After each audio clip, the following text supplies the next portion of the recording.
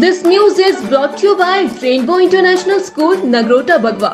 मंडी जिला के सुंदरनगर में स्थित सरदार पटेल यूनिवर्सिटी के कैंपस को 20 करोड़ की लागत से संवारा जाएगा हाल ही में उच्चतर शिक्षा अभियान के तहत पटेल यूनिवर्सिटी को जो 20 करोड़ की ग्रांट प्राप्त हुई थी उसे इस कैंपस के सुदृढ़ीकरण पर खर्च करने का निर्णय लिया गया है सरदार पटेल यूनिवर्सिटी की प्रति कुलपति प्रोफेसर अनुपमा सिंह ने बताया कि 20 करोड़ की ग्रांट से सुंदरनगर कैंपस को सुदृढ़ किया जाएगा।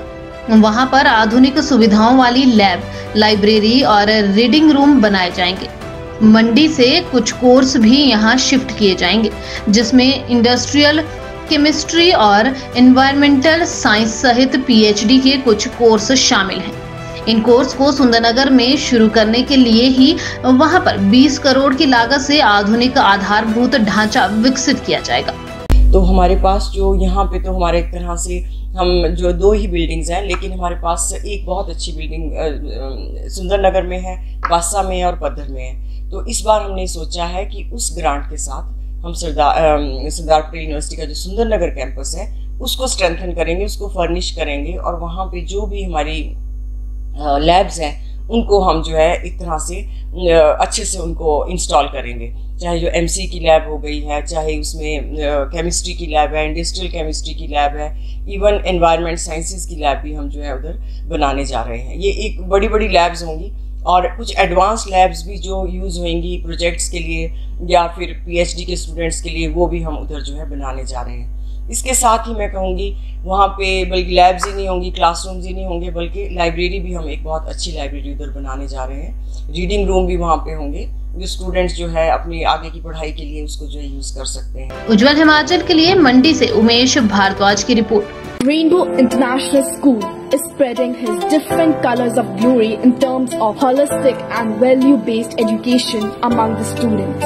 Dr. J.R. Kashyap, Director, Rainbow Group of Schools, Delhi and Himachal, has a wide vision in terms of education. School organize many activities and competitions in terms of curricular and non-curricular areas for all-round development of students. School provides German language classes along with coaching of sports like cricket, gymnastics, table tennis, weightlifting, horse riding and many more. School has been accredited with Khelo India Residential Academy of Table Tennis and Weightlifting.